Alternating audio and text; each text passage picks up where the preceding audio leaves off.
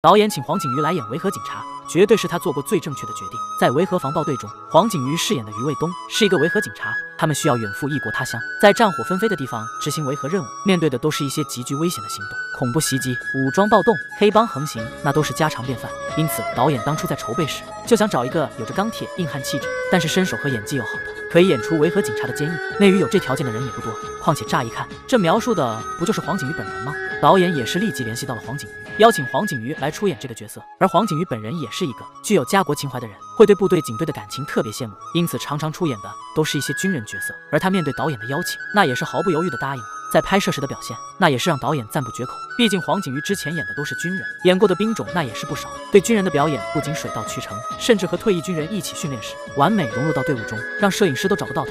直到喊口令后，才发现第一个爬出来的是他。一字匍匐，开进！真的会让人怀疑，黄景瑜以前怕不是真的当过兵吧？不过虽然黄景瑜没有当过兵，但是他小时候的梦想可是当一个特种兵。家里好几代都是军人，从小我就能感受到军人的热血、刚性。这就说得通了。身处军人世家，从小耳濡目染，确实比一般人强。面对这些，不就是小菜一碟？周雨彤万万没想到，只是和李现合作了一部剧，怎么就被贴脸拍大了呢？戏里面呢，你们都这么爱了，你们戏外面有没有可能？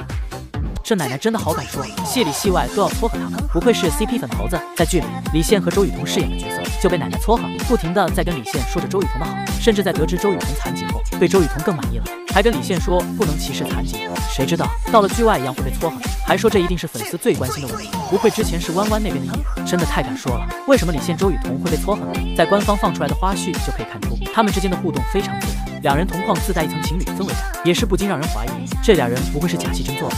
足以可见这俩人的 CP 感有多绝。在剧外，周雨彤不仅性格超好，情商也高，很仗义，但也不会过分八卦，分寸感也很强。她还仗着自己长得漂亮，直接开启了后宫，还被韩火火牵着一起走秀，足以可见她的人品和人缘有多好。而李现是一个非常有主见的人，清醒的知道自己想要什么。就是为什么我不去参加真人秀的原因，就是因为我不希望大家看到真实的李现是什么性格。不仅活得清醒通透，逻辑思维、谈吐表达方面也都超绝，内外兼修，情绪稳定。本人也是亲自认证。陈尚言是我所饰演的角色当中跟李现性格本身最像、最接近的一个。因此看过《韩商言》的，应该都知道李现大概是个什么样的人。看到这应该就知道李现和周雨彤为什么会被撮合了，实在是两个人都很好，错过可惜了。你们认为呢？张新成好像有那演技牛逼症，疯批白月光太带感了。上一秒他还是个无辜的小镇青年，下一秒的笑就带着不寒而栗的狠厉。张新成在新剧《微暗之火》中饰演的周洛是一个小镇青年，原本是一个高中生学霸，但是看到南雅的遭遇，不仅对他产生了怜悯，还萌生了特殊的情愫。于是，在成年后开启了一段特殊的爱情。张新成在剧中的表现